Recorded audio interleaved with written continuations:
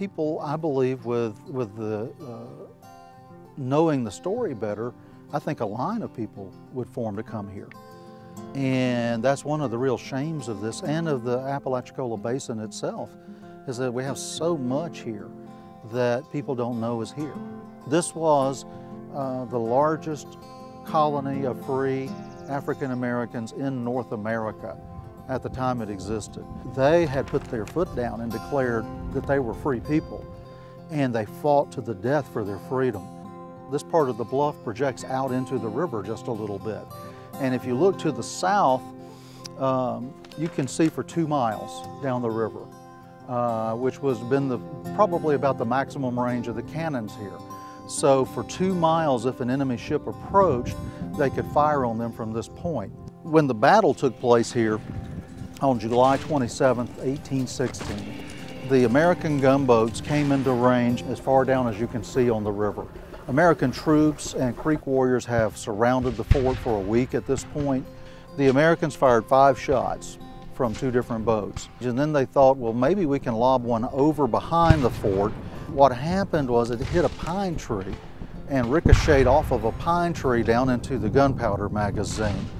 The Army estimated that 270 died in a flash, just gone. These were people who came here and became free, and they fought for that freedom rather than surrender and go back into slavery.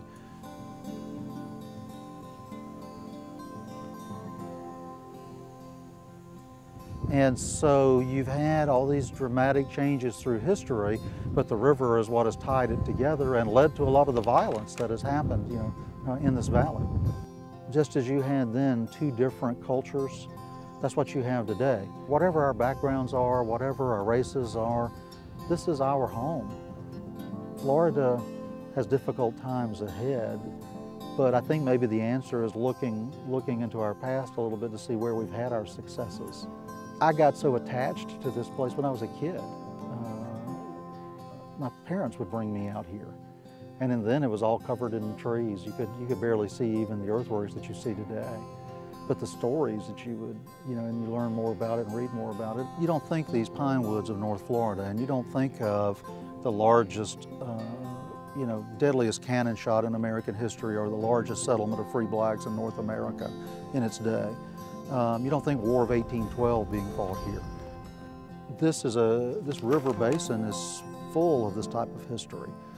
It's a, just such a special place. And whether people live in Tallahassee or Miami or Atlanta, you know, I hope that they, they come here and see it for themselves and then they'll see why we're fighting tooth and nail to try to save it.